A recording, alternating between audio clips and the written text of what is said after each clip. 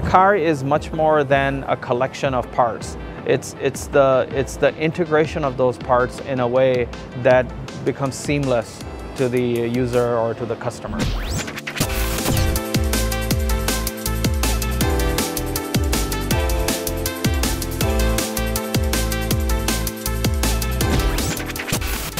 My name is Waqar Hashim. I'm the VP responsible for FF91. My title is Vehicle Line Executive or VLE. Today uh, we are presenting the FF91. Um, this car in particular has been driven from Los Angeles to uh, Las Vegas by our CEO on Sunday uh, without any stops. So we charged it once in our headquarters in uh, California, uh, Los Angeles and then we drove this car over here. So this uh, particular vehicle is equipped with three um, 350 horsepower each motors.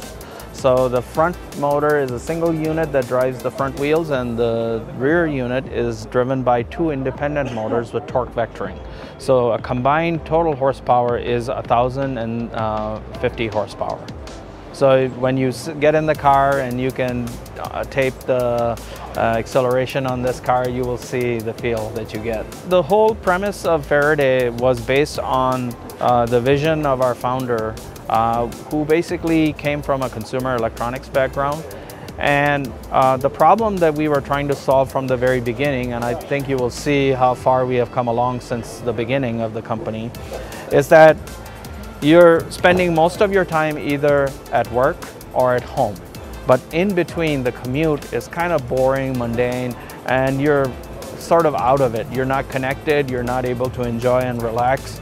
Um, so the whole premise of Faraday was to be able to give technology to the people that the commute time, which is like the third internet living space, becomes seamless. So like say if you're watching a movie at home and you want to continue, finish watching it while you're in commute, you can continue to do that in the car.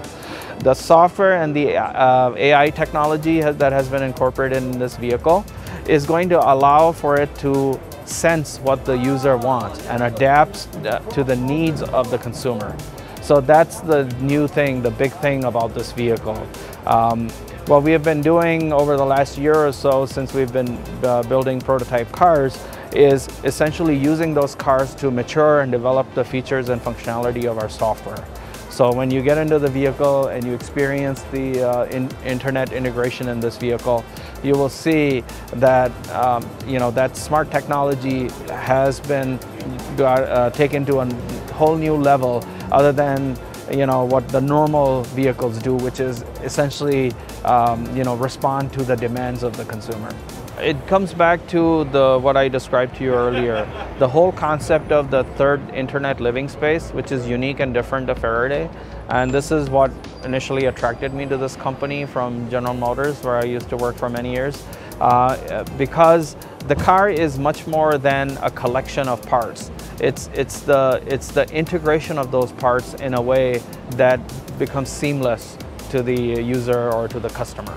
So that's what we are trying to achieve here with this vehicle, right? Um, you know, the vehicle learns, obviously, where what your normal routine is and so it will automatically call up maps and displays and, and you know points of interest and you know uh, rather than taking you through multiple screens you can do a lot of these things with voice commands. What we are uh, planning to do is uh, go through a staged launch. We have a plant in Hanford, California just south of Fresno which is being tooled up and our plan is that by uh, third quarter of this year we're going to start doing a launch ramp up. So we have pre-orders in the system, so we will start building vehicles for those customers and get them out to them as quickly as possible and then continue to build up. We also have uh, plans to, um, uh, to expand our uh, FF91 in China, which is where majority of the market is at the moment for EVs. So we already have land that the company owns and we are developing it to uh, launch a year after the US launch. The vehicle has different options available uh, from the, the electric powertrain to the interior uh, IOV, Internet of Vehicle uh, functionality. Uh, the range is from like low 100,000 to up to 200,000.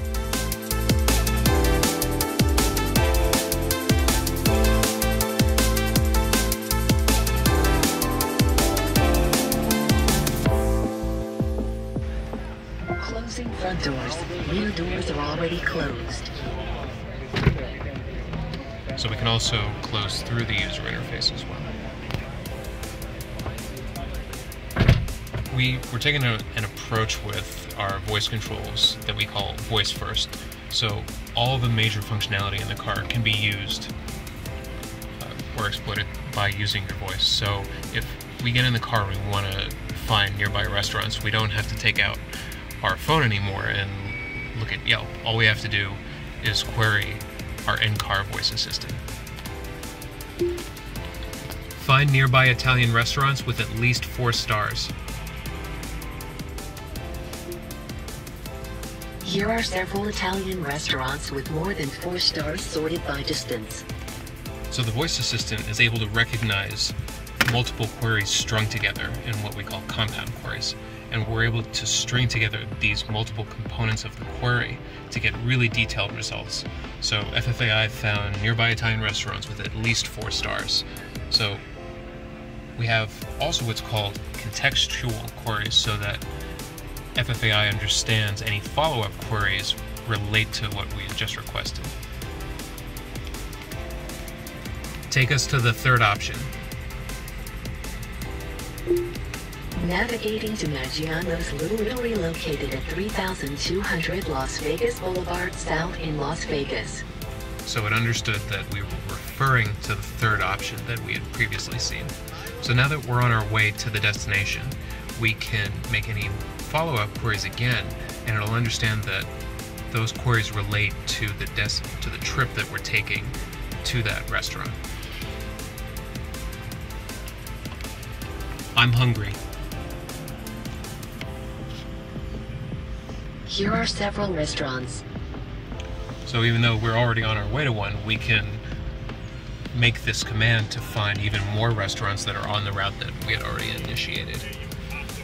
So in addition to finding nearby points of interest, we can also use FFAI to find um, our favorite music using any of the third-party apps that we're able to install inside of 9.1. Play music by the Beatles. Playing songs by the Beatles. We've integrated FFAI with third-party apps like Spotify uh, so that we're able to seamlessly make these requests while we're on the fly.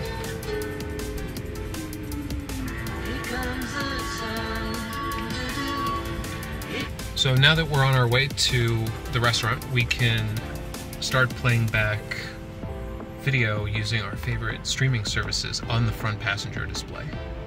And we can control that using our phone. So we're logged into the front passenger display and we can start playback